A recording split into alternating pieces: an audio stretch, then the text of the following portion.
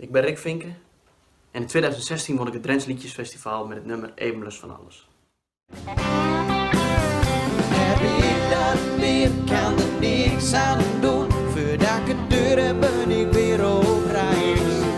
Ik ben van de wereld, dus van alles. Het is elke keer wat nice.